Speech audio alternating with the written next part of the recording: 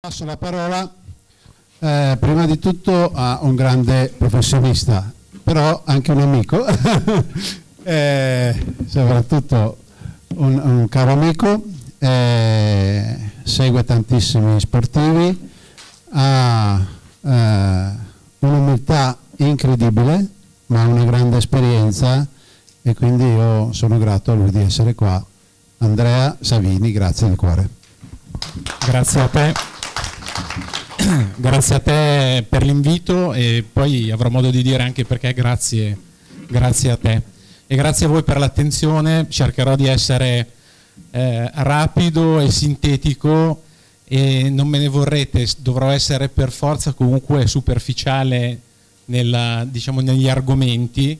Eh, poi in caso vorreste, voleste comunque approfondirli sono disponibile poi individualmente o comunque in piccoli gruppi. Eh, ma allora, Giorgio mi ha chiesto di parlare di sport. La mia attività si divide mediamente un 50% con gli atleti e un 50% tra pazienti oncologici e pazienti con problemi autoimmuni, quindi insomma pazienti divertenti. Quindi io quando ho a che fare con gli atleti effettivamente mi diverto.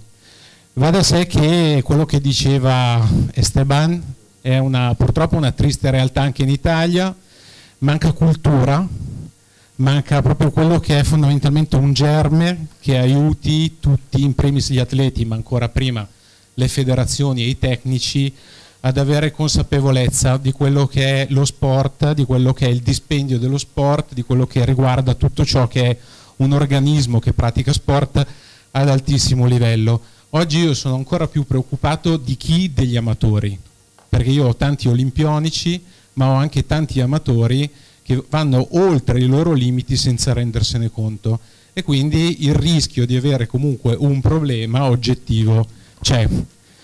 Vabbè, giusto per dirvi due, chi, chi seguo tendenzialmente, ho l'onore e l'onere di lavorare con le ragazze della nazionale ginnastica ritmica, eh, che fortunatamente insomma, danno anche tanti bei risultati. Lui non è della nazionale ginnastica ritmica. Eh, lavoro con il blocco diciamo, del nord, il blocco milanese della, della nazione di patinaggio sul ghiaccio e sembrerà strano, io mi definisco anche con i pazienti il gruppo di controllo, cioè ciò che non bisogna essere, okay? così almeno rompiamo il, il, dire, il ghiaccio. Eh, 35 kg fa, eh, su questa pista, che è la pista di Manchester, ho vinto un una medaglia di bronzo ai campionati europei.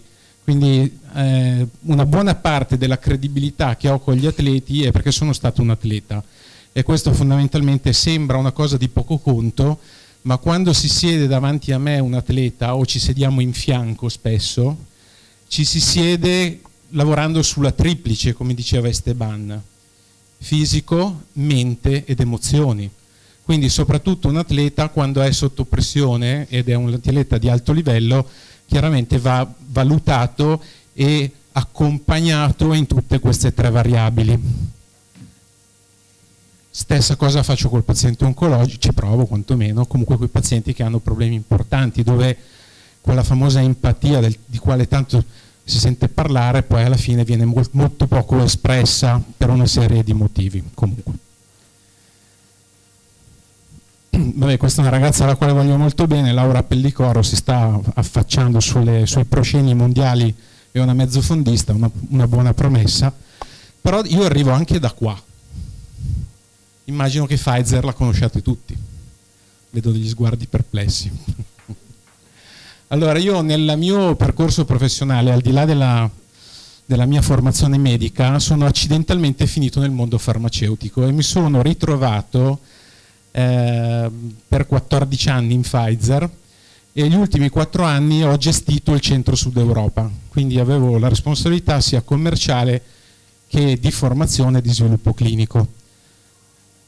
È stato un grosso, un grosso momento di vita eh, una, è anche un grande dolore perché in quegli anni purtroppo mi sono trovato nella condizione di dover lasciare a casa più di 20.000 persone ma ho sviluppato una prospettiva differente, che era quella della, eh, non tanto della, del trattamento quanto della prevenzione.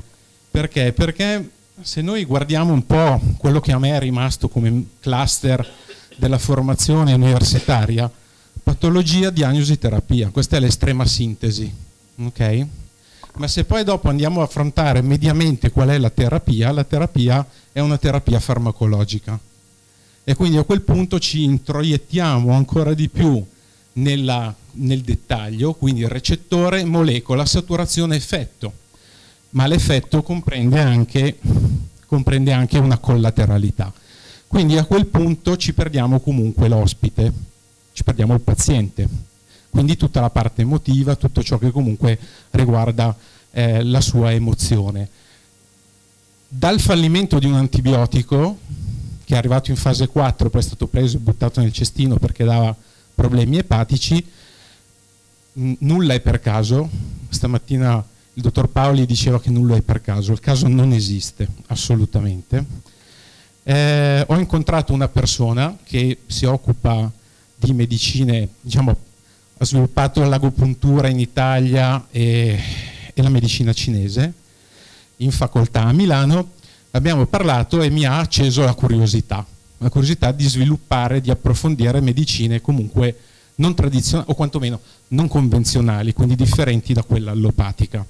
E questa cosa è stata anche diciamo, supportata, questo è un dato del 2013, ma da un dato che avevo visto nel 2009, che era un dato sempre dell'Ocse, che parlava di quanto lo Stato italiano dedicasse in termini di prevenzione del suo diciamo, budget della sanità. Questo è un dato del 2013, quindi abbiamo la bellezza dello 0,5% investito, ma immagino ci siano un po' di, di, colleghi che fanno medicina di famiglia, oggi diventa difficile non solo fare terapia, ma addirittura fare diagnosi. Quindi figuriamoci se riusciamo a fare prevenzione. Potrebbe esserci una spia del Ministero. Comunque il, il fatto è che a quel punto io ho una volta deciso di abbandonare Pfizer perché non volevo più essere complice di una operatività, poi non voglio entrare nel merito, eh, ho scelto di implementare comunque le medicine non convenzionali. Resto comunque fermo sul principio come il dottor Pace che nel momento in cui occorre un antibiotico, occorre un antipertensivo, quando proprio non c'è possibilità di gestirlo diversamente, lo si utilizza.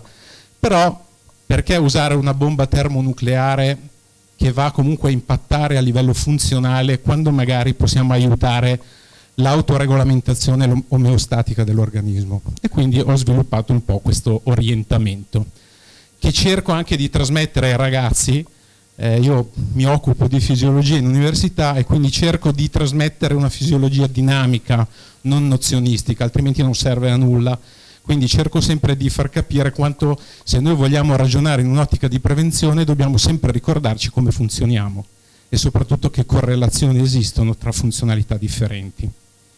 Quindi è sempre un piacere ascoltare il dottor Pace perché insomma abbiamo bisogno, abbiamo bisogno comunque di avere sempre la mente in allenamento, quindi grazie ancora. L'epigenetica è una cosa della quale avevo sentito parlare, è un po' una moda, parlano tutti, la conoscono in pochi. Quindi a quel punto, eh, anche qui, qualche anno fa, incontro eh, Giorgio eh, in un piccolo evento dove si parlava comunque di, di condizioni posturali nell'atleta e, e, un anno e mezzo fa, viene, un anno fa circa, viene e mi dice ti devo parlare, dimmi. E mi parla di epigenetica di test test drive. Quindi per farla corta e per farla breve ho detto bene, se parliamo di prevenzione e se parliamo comunque di gestione della condizione in essere, ma soprattutto di evitare che comunque insorga, è uno strumento che può tornare utile. E quindi ho di buon grado, più o meno, visto il portafoglio che si è alleggerito, però eh, ho accettato di buon grado di fare sperimentazione, cioè di, di, vedere un po' che cosa, quale valore aggiunto ne portavo a casa. Ma in, interessante sulla, sulla carta, condivido pienamente quello che ha detto il dottor Pace. Dear Marcus, it's not really easy to use S-Drive because you need You need to take time in order to think. Quindi noi dobbiamo effettivamente prendere il tempo di ragionare su quello che succede. Tanto è vero che io inizio a condividere il test con il paziente o con l'atleta e poi mi riservo di formulare i suggerimenti il giorno dopo o due giorni dopo, perché mi prendo il tempo per studiarlo il report, devo incrociarlo con quello che è l'anamnesi o con quello che è la storia del paziente, perché altrimenti il rischio è di commettere magari qualche errore e se non errore magari una superficialità e qui non ce lo possiamo permettere. O comunque è meglio se evitiamo di commettere una superficialità. So it's good. Don't worry. Velocemente, tre casi parlando di atleti. Allora, una ragazza di 21 anni, apparentemente in salute, faceva un po' fatica a recuperare eh, questa è una ragazza che fa una, uno sport dove c'è uno, diciamo, uno, sforzo misto. Non vi dico chi è perché se, se vi dico gli sport uno incrocia i nomi e poi la privacy ciao. Allora l'obiettivo qual era? Il miglioramento del recupero e soprattutto in una logica preventiva ridurre la probabilità di infortunio. Quindi abbiamo comunque fatto il, il test, quello che è emerso si vede poco, comunque è stata i primi, diciamo i macrofattori, un'attenzione sulla sintesi proteica, metabolismo degli acidi grassi, guarda caso, emozioni e metabolismo degli zuccheri. Ora devo correre un po' perché altrimenti dovremmo stare qua una mezz'oretta per ogni singolo caso. Però la cosa interessante qual è? Che a livello vitaminico sostanzialmente non ci sono punti di grande attenzione immediata, punti di attenzione per quanto riguarda il discorso dei minerali siamo nella stessa condizione, va da sé che anche qui si faceva riferimento al litio, quindi l'attenzione alla parte intestinale comunque l'abbiamo messa e guarda caso c'era comunque una necessità di un reasset di tutta la parte, tutta la parte lipidomica. A livello aminoacidico c'era la necessità di intervenire, perché la sintesi proteica effettivamente aveva una concomitanza di fattori che richiedeva un intervento diretto e l'intestino segnava comunque una condizione dove c'erano diciamo, dei post virus che creavano, creavano comunque una potenziale interferenza. A livello ambientale pulita, meno male, per fortuna, almeno quello, e anche dal punto di vista delle frequenze. Quindi un, pic, un, piccolo warning sul discorso del monitor del computer, che poi non era il monitor del computer ma era il tablet, sul quale abbiamo lavorato, eh, stabilendo un certo numero di ore durante la giornata, ma fondamentalmente niente di che. Questi erano gli additivi alimentari che si sono evidenziati, ma in sostanza abbiamo fatto una cosa abbastanza easy, quindi a premura, eh, la pulizia intestinale che poi a, diciamo, alla quale abbiamo fatto seguire prebiotici e probiotici, anche qui quando si lavora sull'intestino non si può pensare di risolvere un problema o di ottimizzare diciamo, l'habitat intestinale in due settimane, occorre comunque pensarla in mesi. Okay? Ovviamente abbiamo fatto una rivalutazione alimentare, in un atleta più che mai eh, il self food per me è una, una condizione sine qua non perché comunque l'ottimizzazione dell'ossigenazione mitocondriale, quindi della produzione di ATP, è, è, chiaro che non posso sottovalutarla. Resta il fatto che questo vale nell'atleta, ma è un elemento cardine che considero anche nel paziente oncologico comunque nel paziente con patologia, perché se è vero come è vero che l'ossigeno è, è il il peggior nemico del cancro, beh, insomma, se noi ossigeniamo l'ambiente, evidentemente gli rendiamo la vita un po' più complicata. Quindi abbiamo aumentato la quota aminoacidica, abbiamo modulato gli acidi grassi e sul discorso del metabolismo degli zuccheri l'ho accontentata dando un po' di vitamine del gruppo B. L'abbiamo chiusa lì. Quella leggera difficoltà fondamentalmente nel recupero si è ridotta infortuni toccando ferro al momento non ne ha ancora avuti e quindi siamo tutti felici. Il caso 2 invece è un momentino più articolato una ragazza di 18 anni, una grande spossatezza, mancanza di energia, senza forza a livello muscolare e una grande irritabilità. Strano, una ragazza di un, di un pacifico assoluto.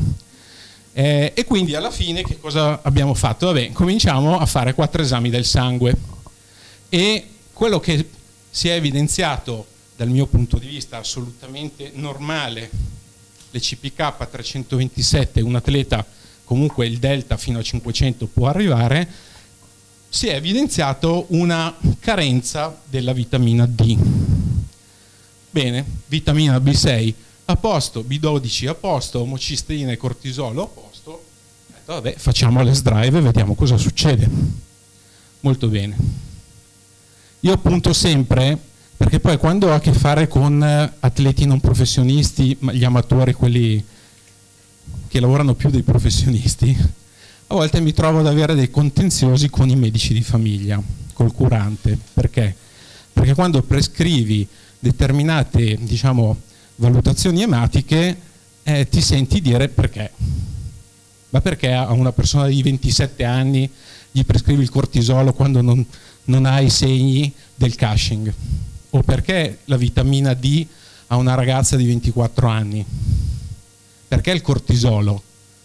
Perché di qui? Perché di là? Quindi alla fine eh, c'è comunque una, così, una chiacchierata amichevole con qualcuno, lo è un po' meno perché decide che non glieli prescrive e quindi alla fine si presentano al, al laboratorio analisi con la prescrizione rossa e la mia prescrizione in bianco perché spesso il collega non ha voluto scrivergli neanche in bianco perché ritenevano che non fossero idonei e necessari. Comunque, vabbè, al di là di questo.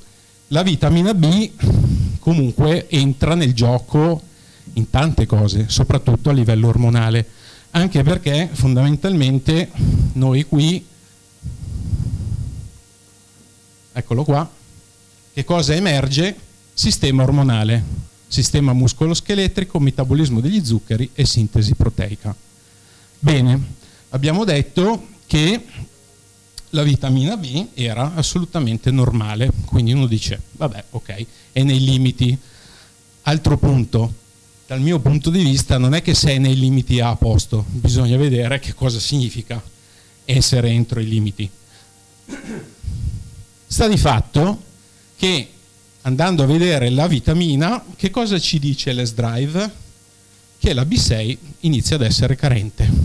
Allora dici, caspita, interessante però, perché l'esame, la valutazione ematologica mi dice che è a posto, mentre invece l'S-Drive mi dice che c'è una carenza, cioè bisogna incominciare a lavorare sulla vitamina B.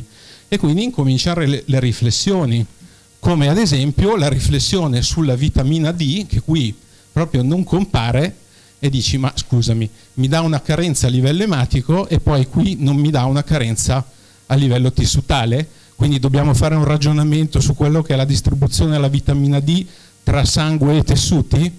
E questo è un bel argomento. Poi infatti volevo fargli una domanda per riuscire a capire come venire a capo di questa condizione. Vabbè, questo era lo status quo. A livello minerale fondamentalmente non c'era niente di che da segnalare, la parte lipidomica in un modo o in un altro è sempre da andare a risistemare, a livello antiossidante comunque è, è emerso l'aspetto fitoestrogeni. Siccome lì uno dei punti era la, la condizione, eh, l'asset ormonale, ho detto va bene, ok, allora facciamo una cosa, a livello aminoacidico fondamentalmente non sono intervenuto, ho deciso di non intervenire, a livello intestinale anche qua abbiamo dato una riassettata, danni ambientali zero, certo è che la cosa interessante era come lei utilizzasse il forno a microonde. Ma io gli ho detto scusami, ma spiegami una cosa, ma lo usi tanto il forno a microonde? Sì, ma fammi capire, quando il forno a microonde dove va e scalda il cibo, tu cosa fai? Mi metto davanti e lo guardo. Vabbè, allora evitiamo questa cosa che magari tutto sommato saranno anche protetti finché dicono ma presumibilmente qualche dispersione evidentemente c'è quindi abbiamo lavorato anche su queste cose cosa che senza l'S drive diventa difficile, diventa difficile da fare e poi questi erano gli additivi alimentari che sono usciti. Benissimo. Soluzione, intestino, probiotici, rivista comunque l'alimentazione, abbiamo inserito un po' di soia per aumentare la quota fitoestrogenica, cell food ovviamente, amminoacidi pre e post allenamento, quindi un lavoro comunque specifico, e la modulazione degli acidi grassi. Ovviamente, vista la condizione, il, il check era ogni 3-4 giorni, per quanto si era stabilito di fare un follow up a un mese. Al che dopo un mese, visto che il miglioramento sostanzialmente non c'era, mi sono preoccupato. Innanzitutto perché la federazione me le avrebbe date, perché non risolvevo il problema, ma prima ancora perché la ragazza non stava bene. Al che parlo con un amico endocrinologo e dico, senti, dammi una mano, cerca, cerchiamo di capire se tu trovi il bandolo della matassa esami di approfondimento, zero. Al che ho detto, vabbè, rivediamo sto benedetto S-Drive, ho lasciato indietro qualcosa, ho dimenticato qualche cosa. E in effetti io fino a quel momento gli additivi alimentari li avevo sottovalutati, profondamente sottovalutati, mea culpa. Sta di fatto che ho detto, va bene, eh, tentiamo qua. Quindi a quel punto ho preso uno per uno, sono andato a vedere quelli che tendenzialmente vengono considerati non pericolosi o non dannosi e ho valutato invece gli altri. Partendo da che cosa? Dall'amaranto. L'EFSA comunque ha portato una riduzione da 0,50 mg per chilo a 0,15. Quindi l'amaranto, che è un colorante, vabbè, uova di pesce analcolico, però qualche analcolico la ragazza ogni tanto la beveva sempre grande attenzione al, al, peso, perché poi queste sono ragazze che sono sempre sul filo del rasoio. No? molto spesso ci sono fratture da stress, cioè sono organismi che sono veramente sul, sul filo del rasoio.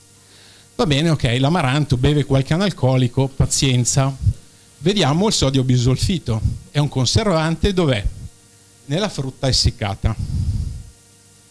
Era un punto di salvezza per lei durante le pause, metà mattina e metà pomeriggio. Ha detto bene. Poi nitrato di sodio, bresaola e prosciutto crudo. Cosa mangia un atleta se non mangia il pollo che io sconsiglio perché è pieno comunque di antibiotici e steroidi? È il crudo e la bresaola, oltre ai legumi che io peroro ma fanno una gran fatica. Bene, poi malato di sodio, cracker grissini prodotti da forno, il pan bauletto. Quindi forno a microonde, il pan bauletto, il prosciutto crudo e soprattutto la bresaola e la frutta secca, la, la, diciamo la frutta essiccata, beh, questa triade, oltre al fatto che il solfato d'alluminio era presente comunque anche nel pan bauletto e la gomma lacca rivesta le mele, No, ho avuto fortuna anche. No, tutto no, perché io comunque la, la, parte lievitante non l'avevo considerata più di tanto. Io avevo dato comunque più attenzione al nitrato di sodio, al bisolfito e alla gomma lacca.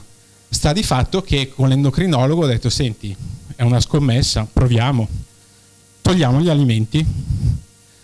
Siccome l'obiettivo è togliere la causa, non tamponare il sintomo, vediamo che cosa succede. Morale, la fortuna del principiante, questa ragazza ha incominciato a star meglio. Adesso stiamo, ovviamente abbiamo inserito altri alimenti per sostenerla, perché poi va anche considerato che lì dal punto di vista emotivo gli ho dato uno sberlone mica da ridere, perché erano le cose che lei riteneva ottimali per la sua alimentazione e la sua sussistenza. Vabbè, sta di fatto che ha incominciato a stare meglio e da quel momento io ho preso, prendo come primo elemento di valutazione dell'S-Drive questo. Sta di fatto che questo amico endocrinologo che lavora a Niguarda mi ha guardato e mi ha detto ma cos'è una roba da sciamani questa? E gli ho detto guarda io non lo so, guardo il risultato. Quindi sta di fatto che comunque senza l'S-Drive qui molto presumibilmente non ci saremmo arrivati mai. Quindi un valore aggiunto sicuramente lo ha dato. L'ultimo caso, un bel ragazzone di 29 anni, un top performer, un, un faticatore, okay, un triatleta, e all'improvviso ha avuto un calo di performance e non si capiva perché. Non si capiva perché se era stressato, se non era stressato, se era stanco, se iper, era in ipertraining, non si riusciva a capire. Facciamo le drive e viene fuori bello bello il sistema adrenergico. Salute cerebrale, interessante, io quando ho visto questa schermata qua ho detto, mm, interessante. Metabolismo dei grassi perché ovviamente non possiamo farcelo mancare e equilibrio microbico intestinale. Non aveva alterazione della frequenza cardiaca a riposo, era un bradicardico e bradicardico rimaneva. Non aveva un'alterazione della, della, dei valori pressori, né sistolici né diastolici. E dici, ma sto adrenergico dove diamine lavora? Andiamo a vedere il cortisolo, cortisolo normale. Bene, quando si dice che in medicina serve creatività, a volte ti senti sguarnito perché dici adesso dove sbatto la testa? Molto bene. Al che andiamo a vedere, quindi vitamine tendenzialmente tutto a posto, indicatori di minerali neanche da dire che ci segnala il litio, quindi brancoliamo ancora nel buio. Acidi grassi, eh, comincia a esserci qualche segnale, quindi EPA e DHA fondamentalmente ci segnala la bandierina, attenzione che è prioritario. Bene, poi antiossidanti, superossido sintetasi, eccetera, eccetera, eccetera, carotenoidi e via discorrendo, molto bene. A livello di aminoacidi, niente di che.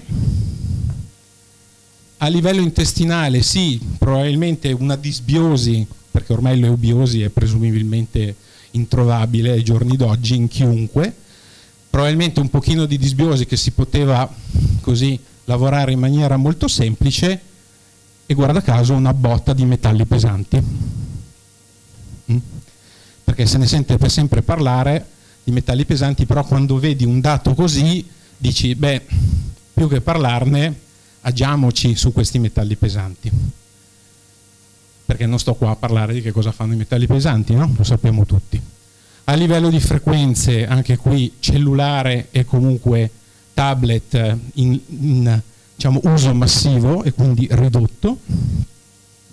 Siamo andati a valutare gli alimenti che assumeva e anche i cosmetici, perché a volte questi, queste sostanze sono contenute anche nei cosmetici.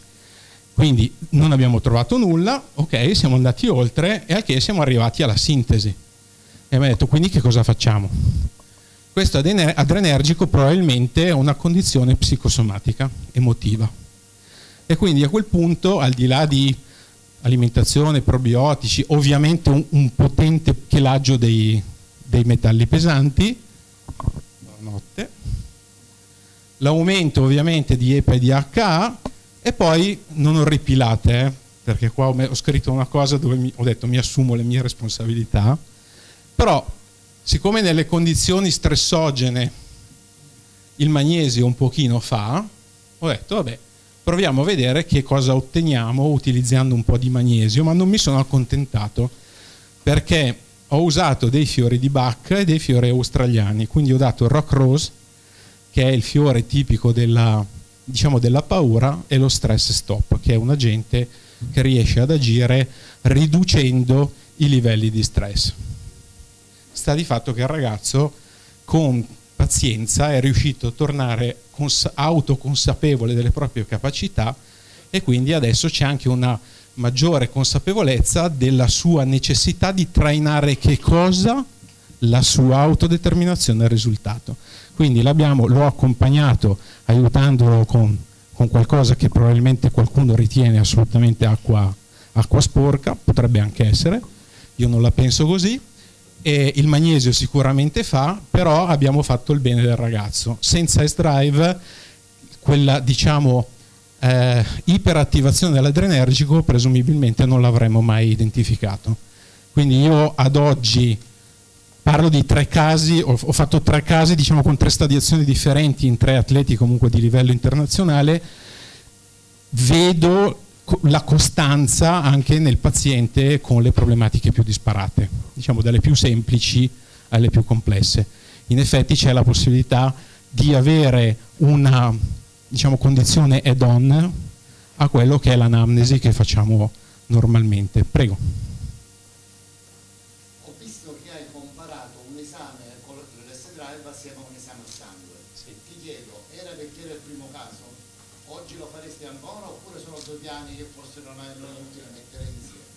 No, io ti ringrazio per la domanda, ti dico quello che farei io, anzi quello che faccio io. Io li faccio tutti e due, a prescindere, proprio perché mi aiuta a ragionare in maniera differente.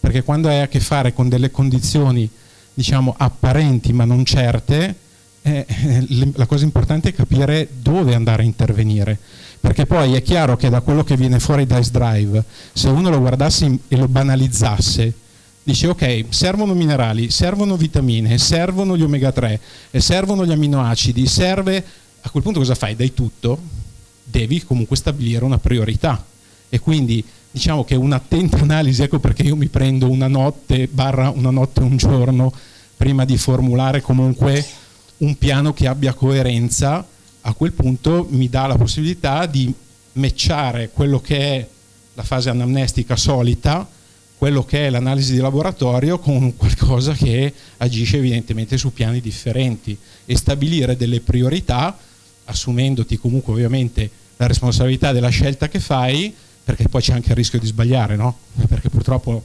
non, è, non siamo esenti da, da, diciamo, dall'errore, ma quello che ho visto è che il margine di errore si riduce. Questa è la mia esperienza.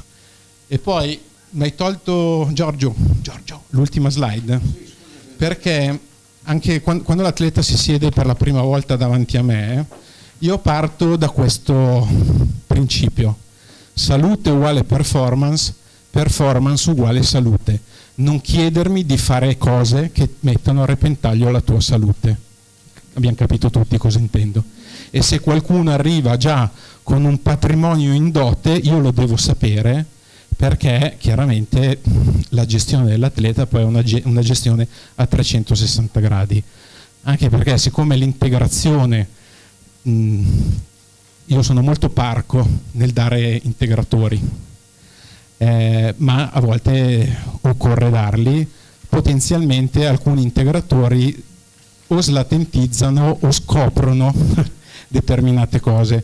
Avere, ognuno fa le proprie scelte morali, se l'atleta decide e le squadre varie decidono che la via di quella cosa che comincia per D e finisce per doping, quindi decidono per la via del doping, è una responsabilità loro, io mi premuro solo di non peggiorare la situazione, poi dopo la coscienza è la loro. Sono stato un atleta, so che non puoi andare avanti a, a, dire, a pasta asciutta e acqua, però prima di arrivare comunque al doping, al doping quello vero, eh, ci sono vari stadi. L'integrazione aiuta, per quanto se noi andiamo a vedere l'etimologia, visto che si parlava di etimologia e chiudo, della parola doping vuol dire alterazione della prestazione sportiva.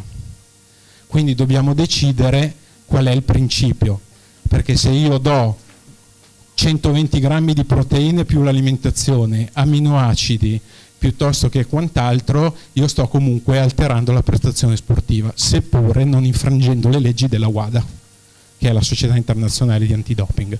Quindi è comunque un discorso bello, articolato, al quale porre molta attenzione anche in chi di voi ha comunque ragazzi o persone di mezza età che fanno sport amatoriale ad alto livello, perché lì si nascondono i pericoli più grossi, perché prendono di tutto e di più e noi non lo sappiamo. Io spe- sì, certo. Essenziali e non, anche ramificati.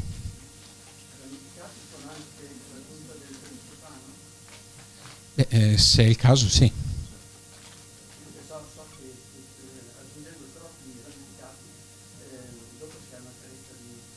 Sì, allora questo è un bel argomento. Eh, io ho studiato eh, diciamo, alimentazione, nutrizio, nutrizione e integrazione dello sport eh, a Pavia eh, con il professor Marzatico, non so se qualcuno di voi lo conosce. purtroppo Fulvio ci ha lasciato due anni fa, era, era un grande amico e c'è sempre stato e tutt'oggi esiste un forte dubbio sull'efficacia degli amminoacidi ramificati oggettivamente io vedo atleti che assumono la, la, il, il, ramificato e si gonfiano come il big gym, cioè aumenta la massa muscolare, altri che non hanno potenziamento muscolare. L'obiettivo però che vedo io dell'uso dell'aminoacido qual è? da una parte a supportare la ripetitività del gesto, quindi la plasticità muscolare durante l'esercizio. Post esercizio, soprattutto con l'L-glutammina, è la, riduzio, la riduzione del catabolismo muscolare. Quindi non la vedo tanto come potenziamento del muscolo, quanto sostentamento dell'azione fisiologica. Poi dopo c'è la creatina, ci sono altre cose. È vero che poi man mano che vai avanti ed alzi i dosaggi di aminoacidi rischi di andare a creare degli scompensi da altre parti. Questo è vero. Però bisogna alzare i dosaggi. Spero di non essere stato più di tanto, come dire, di avervi... Fantastico e anzi buon proseguimento. Se avete altre domande sono qua.